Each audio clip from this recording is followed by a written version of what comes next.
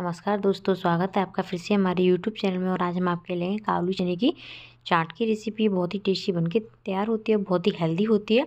तो एक बार बना के आप ज़रूर ट्राई करें, अगर आपको रेसिपी मेरी पसंद आए तो मेरी वीडियो को लाइक कमेंट करना ना भूलें और आपने मेरे चैनल को सब्सक्राइब नहीं किया सब्सक्राइब कर लें। चलो चलते हैं काबुली चने की चाट बना बनाने। चना छोले चना की चाट तो ये हमने चना ले लिए काबुली चने जो होते हैं वो वाले।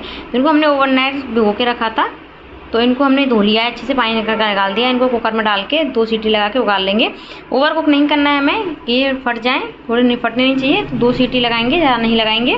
तो यहाँ मैंने चना को डाल दिया है कुकर में इसमें डालेंगे पानी। पानी। और इनको उगाल लेते हैं दो सीटी लगाने था दो से तीन लास्ट से नहीं लगानी।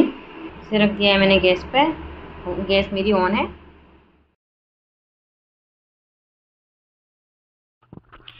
तो यहाँ पे देखो, आप मेरे छोले उगल गए तो हमने ज़्यादा इन्हें ओवर कुक नहीं किया है तो मैं आपको हाथ से फोड़ के दिखाती हूँ। देखो इतने अच्छे से उगल गए। तो इस तरह से हमें छोले को उगाल के तैयार करना है, ज़्यादा ओवर कुक नहीं करना है। तो चलते हैं इनकी चाट बनाने।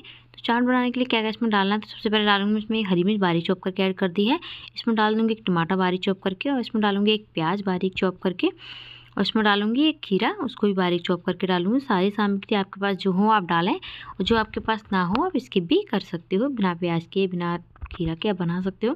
लेकिन सारी चीज़ डालोगे तो इसका थोड़ा फ्लेवर अच्छा आएगा। और इन सब चीज़ों को हम मिला लेते हैं। हरी मिर्च आप नहीं खाते हो, आपके बच्चों के लिए नहीं खाते आप इसके भी कर सकते हो। बहुत ही टेस्टी और हेल्दी रेसिपी है ये।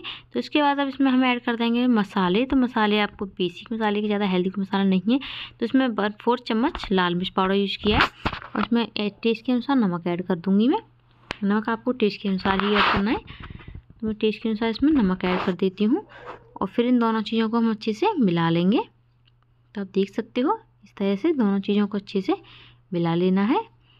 इन दोनों चीज़ों को अच्छे से मिला के मैं इसमें दो आलू को बारीक काट के ऐड कर दूँगी।